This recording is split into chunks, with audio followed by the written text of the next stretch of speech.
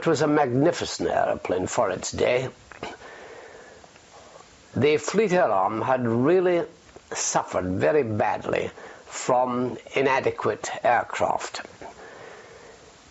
Due, I think, to a lack of appreciation in the Admiralty of what naval aviation was all about. And when the war came, it caught us with aircraft which were really considerably inferior to those of the enemy. And this was possibly at its, particularly at its worst in the fighter arena. And then suddenly we came these, there came these um, wildcats from America under the lease lend arrangement. and they were a total revelation to us because they had been designed from scratch for area, aircraft carrier um, operations. It was as different as chalk from cheese, really. Uh, the Skua ostensibly was a dive bomber stroke fighter. It was quite a good dive bomber, but it certainly was a very poor fighter. And um, it was slow, it was not particularly maneuverable, and it was very much underpowered. Whereas the Wildcat had a very powerful engine. It was a light, quite a light aircraft, very nippy indeed. Uh, rather like an angry bumblebee, frankly. And um, it was much better armed. It had everything, in fact, that the Skua didn't have. But of course, it wasn't meant to be a dive bomber, it was purely a fighter, whereas the Skua, to its, in, to its defense, uh, it was meant to do two jobs, and that's always a difficult thing to ask of an aircraft. Whereas the Wildcat, they were rugged, uh, they had uh, an innovation in the fact that they had what is called a sting hook, an arrestor hook, which came out of the tail of the aircraft as opposed to being under the belly of the aircraft, which we had. This made it much more simple to catch an arrestor wire than with the belly type. And also they were armed with um, .5 machine guns, which um, at that time were non-existent in this country. We were all using .303. So we were quite heavily armed. And you could also reload these, um, or recock, not reload them, but recock these aircraft from the cockpit in the event of a jam, which again was an innovative feature. They had an extremely reliable radial engine and um, they also had excellent ditching qualities, which for a naval aircraft, of course, was very, very necessary. So altogether, they were extremely popular and very effective.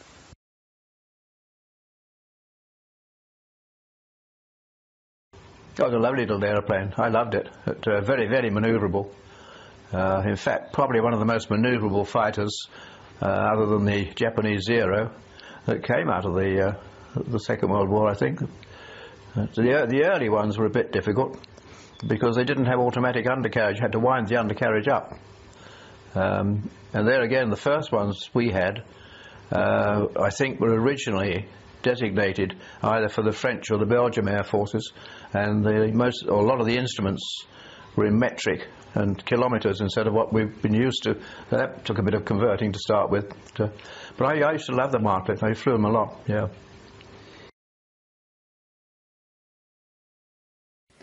The second decision, having been chosen for the fighter school at Yeovilton, was whether you went into the Seafire or the Wildcat. And it was my understanding that if you were a big chap, supposing you were six feet six and 17 stone, you would not go in the Seafire because of a tiny, tiny cockpit. Well, I was not particularly big. I was only I, I was 12 stone and five five feet ten, I suppose, ten or eleven. So I don't know whether that's true or not, but that's what we were led to believe. So I went into the Wildcats room and it didn't worry me one bit. Although the Spitfire had all the um, recognition as being a wonder. It was, it was iconic, wasn't it, the Spitfire at that time, Battle of Britain and all that. Uh, but I wasn't disappointed at all. But I remember how amazed I was at the size of the Wildcat's fuselage. It was like a huge barrel, and you had to help someone get you help you to climb up onto the wing and then climb into the cockpit. It, it had wings like planks, absolutely squared wings, straight wings, a huge barrel under uh, body, an undercarriage which was like a prammed wheels, um, no power undercarriage. You had to wind it up and down. Um, but I wasn't disappointed at all. I, I, I, I, had neutral thoughts, but I'm being staggered by the size of the, the, the fuselage. So that was my first impression. Well, unlike the other aircraft I've described to you, the Wildcat was built for carrier flying, American built, Grumman. And it was very sturdy. Uh, it had its vices and nuisances. The undercarriage, for example, wasn't hydraulic. You had to wind it, crank it up with a handle. And it was 28 turns, I can still remember that, to get the wheels up and 28 turns to get the wheels down. It had to be done manually. Apart from that, though, it was built for bouncing onto a deck. You could fairly thump it down. Uh, sturdy wheels. Fairly narrow, but it didn't matter if you caught a wire. Very good deck landing aircraft. Very good fighter aircraft. Obsolete. Slow. Could take any amount of punishment. Very maneuverable. Multi-purpose. Bombing. Front gun. Rocketing. Um, very versatile. In a dogfight, it could acquit itself well. Not because of its speed, but it was jolly slow. It was a pleasant aircraft to fly. It was uh, a bit heavy on the controls, long before powered controls. Uh, but I enjoyed flying the Wildcat, and it was a good deck landing aircraft. It was a good military, all-purpose. Uh, I think we were called an assault squadron because we were used, certainly in my operational days during World War II, for ground attack or close air support. With the Wildcat 6 at the end, beautiful aircraft, uh, comparable to the Hellcat. Um, and the other thing was, of course, the Spitfire had no range. As soon as you got the bugger up, to bring it 90 gear. Whereas we could go for four hours. An American aircraft, the long-range tank. the early models, particularly, suffered quite a lot from engine failure. Um, I don't know how true it is, but they did say that the Wright Cyclone engine that they were originally fitted with uh, was a civilian type engine, which is being boosted up for aircraft uh, for military service, and consequently didn't quite take it very well. So a lot of engine failures. Yeah.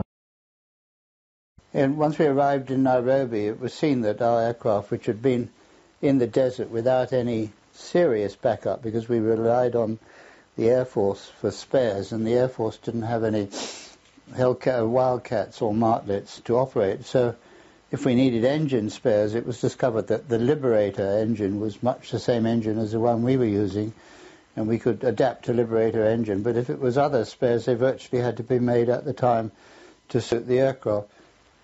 But because they were fairly old mark of Wildcat Martlets, they were to go into the training squadron, and that we were to take new Wildcats, which had come out from America in crates and were going to be assembled in Nairobi. And they were with Wright Cyclone engines instead of the uh, Pratt & Whitney, twin Pratt & Whitneys that we had had on our martlets. These aircraft, I think there were about 25 of them, were assembled at uh, Nairobi. We were kept on to flight test them, and it soon became apparent that there had been a certain amount of sabotage with the engine construction because out of any three aircraft that flew, at least one would have engine trouble and would have to land with an engine that had either failed or was uh, severely starved of oil. The workshops couldn't understand exactly what was wrong, but later I was told that what had happened, a certain amount of sabotage in the engine manufacture in the States, had ensured that bits of cotton waste were left floating around in the oil systems of the engines, and these could jam up in the valves or in the restricted passages and cause engine failure. Because of this, and because it was well understood, um, the aircraft were very suspect. We were given six aircraft to fly down to South Africa to Durban, where two of our carriers, the uh, Formidable and the then Illustrious, were coming through from the Far Eastern station and were going round, and it was said at that time either to Gibraltar to take part in a Malta convoy or to the UK. And these aircraft were acquired down there by Formidable as spares for her to uh, take on board. So the order was to fly the six aircraft for at least three hours each around the airfield at Nairobi to ensure that the engines were going to continue to operate. And we did this and the aircraft proved satisfactory. And so we set off to fly them down to Durban. Sorry. this took place in December 1942 and the six of us took off in the afternoon. I was the last one off. And as I climbed out behind the other five, my engine started blue smoking. That is, smoke came from underneath the cowlings and past the cockpit and past the side of the aircraft. And we'd known before that this was a sign of incipient failure in the engine. And so I turned straight back from the formation without ever having caught them and got into a circle on the airfield itself from the height that I'd reached, which was just about just under a thousand feet. By the time I got halfway down the airfield, the engine had seized up solid, but I was in a position to put the wheels down and land back on the airfield again. Another failing with these aircraft right from the word go had been that the radio telephone communications in them had never worked. We were never in touch, one with the other, throughout the squadron, because the um, transmitter receivers um, hadn't stood up to whatever it was was required by us. So I was unable to tell the rest of the squadron that I had landed back, and they were unable to count up to six for about the next half hour. So at the end of which they got a bit worried and decided they'd better turn back and see where I was. The Seafire or really the Spitfire to start with, had an inline engine, a Merlin, with a coolant system. And if that, if you got a splinter in there, that was the end of that engine. And also, it was impossible to ditch comfortably because it had a radiator scoop and it, and it was a low wing monoplane. And it was better to bail out of a Seafire was, um, was also impossible to land. And when we lost at Salerno, I think 90 out of 120 planes were deck accidents. Um, which Baldwin always swore that was due to the flat calm, so they couldn't judge heights. But it wasn't. It bounced like a tennis ball. You've seen pictures of it, it. Whereas American aircraft, you, you come in, oh, on this height and cut the throttle, and the thing just dropped like a brick, bang. There it stayed, mostly. Um, and they had radial engines, Pratt and Whitney and the Wasp and the, and the Wright cyclone. And I've, I've brought an aircraft back, with the Wright cyclone with three of its cylinders damaged by ack-ack. Lose oil, but they still churn around. And uh, we had a mid-wing monoplane, you practically, when you got used to it, you could you could ditch that thing and get into your dinghy without getting your feet wet. Practically, it was a, it was a wonderful thing because it floated and it not as fast perhaps as the Seafire, and we couldn't catch up with the 88s and things like that, the early, early American aircraft. But they were much more rugged, very tough.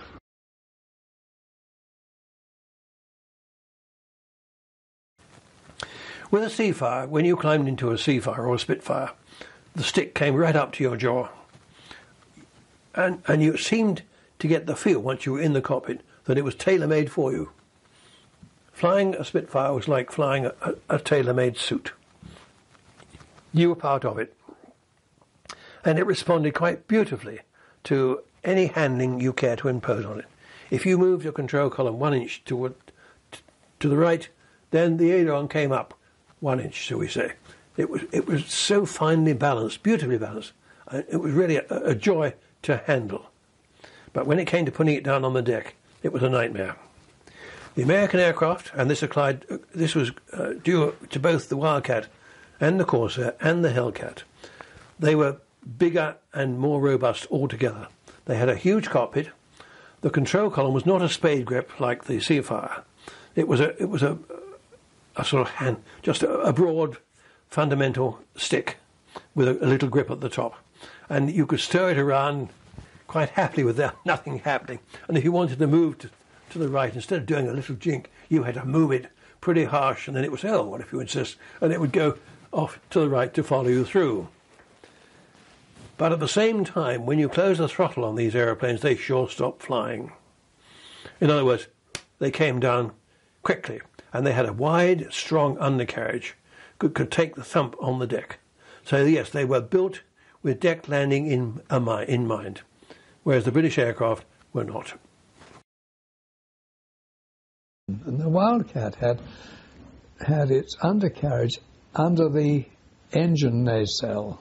You know, it was it, it tucked up, the wheels tucked up into the engine cowling, not into the body of the wing. And uh, you had to wind the undercarriage up. So when you got airborne, you were winding the as you were climbing into the sky, you were winding the flaming undercarriage up like this, and you had to wind a lot to get it up. And it was down here, so you were ducking your head down while you're winding this wretched thing up. And I once wound my head down because it caught my tube and all that sort of stuff was being wound down. My head was being wound down as I was winding up, as I was uh, climbing. And of course, you, you find your head being pulled down below the level of the cockpit. What the hell? So you had, you had to unwind, let your undercarriage uh, up again, uh, down again, you see. So uh, every Wildcat, they never had any automatic fly, uh, undercarriage recovery. It was all lower by hand and raised by hand. Had to let it. You couldn't let it fly because it would, it would might create a bit of havoc. You got very skilled at it. You you really you know, and your right arm got very strong. Uh, because it, it, was it was quite a heavy undercarriage. It wasn't assisted; you wound it up.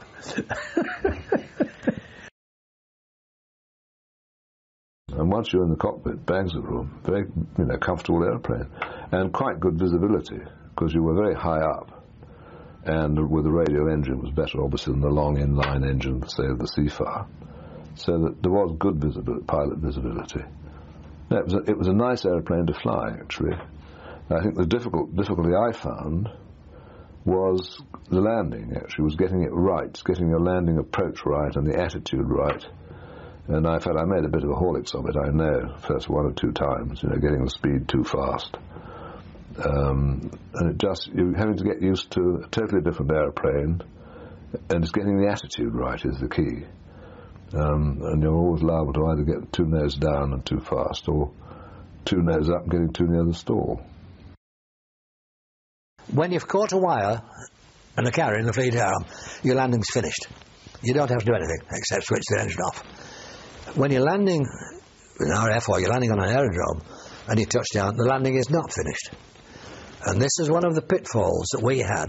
If we'd been flying a lot from a carrier, and then we disembark in Malta or Alexandria, whatever we did, and to work to, to, to work from an aerodrome, there are a lot of ground loops on those first landings because as soon as you've touched down, particularly an aeroplane with a narrow undercarriage, you have to fight a lot to keep it straight. Any side wind, crosswind, and you what they call ground loop, so it's a lot easier in that sense landing an aircraft carrier than landing on an aerodrome.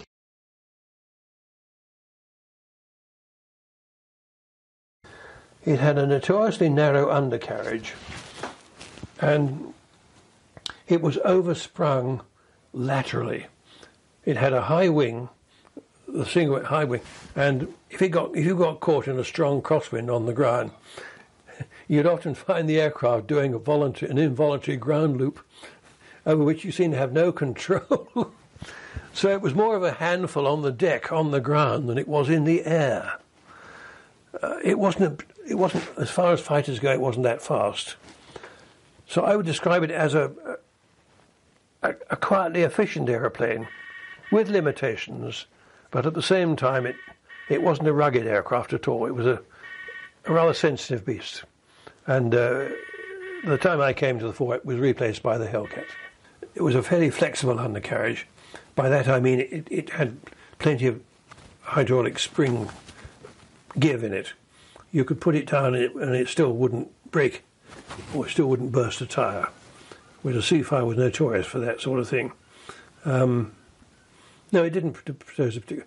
But again, if, if you were trying to manoeuvre the aircraft on deck and the carrier was turning into wind, then it could be quite tricky, very tricky. And you you've never felt more vulnerable as a pilot than when you're taxiing an aircraft on board an aircraft carrier, manoeuvring into wind, because there's not much you can do. you,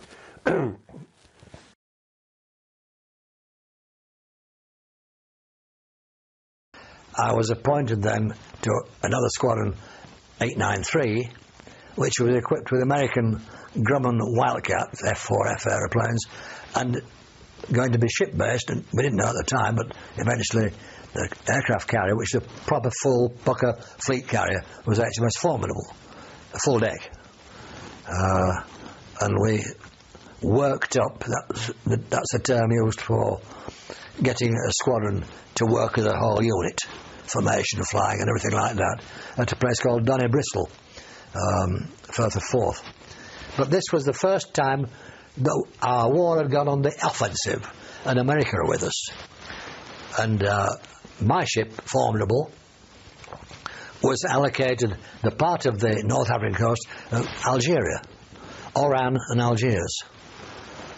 And it was decided that we, they were invading a French uh, uh, owned part of the world, that if the French, had thought this was a British invasion, they would fight. But if they thought it was an American invasion, they would accept America rather than Britain. It's still today. France and Britain, you know, we're not friends. So, when we came to do this invasion, we painted all our airplanes under American colours. And uh, mostly the airplanes they call them roundels, red, white, and blue rings on the circle painted on the side. Well, they were all painted out, and a white star was painted on, which the Americans, to distinguish American aircraft. So I flew an American aircraft in American colours. Uh, and it worked because the charge d'affaires in Algiers, it capitulated after uh, about three or four days, thinking that it was a, an American invasion. So it worked. Um, but I tell my American associates that I once flew as an American. well, as fighter aeroplane, basically, there were uh, more than one squadron aboard. There were uh, two squadrons of, of uh, Wildcats, which they never used to call martlets, and there was a squadron of Seafires, uh, Spitfires. Uh, they couldn't fold the wings, so they had to be stuck on deck, and they were put on outriggers hanging over the sea. And then there was a squadron of albacores, which were the torpedo airplanes. Uh, our function as fighters was either to escort the albacores, who were on a torpedo mission, a torpedoing U-boats or the Italian Navy or whatever it's going to be, uh, or umbrellas over the fleet to protect the fleet from enemy aircraft, fighters or bombers, coming in, or to cover the actual landing, the troops who were doing the dirty work of landing. Um, that was the role uh, of fighter aeroplanes. addition to that, perhaps a little bit of what they call AS patrol, anti-submarine patrols, when we ranged far away looking for U-boats. Uh, not that we could have done much to them. Bullets from the wings of a fighter aeroplane wouldn't damage a, a U-boat, but the radio could soon fetch a destroyer up or, or an albacore with a torpedo.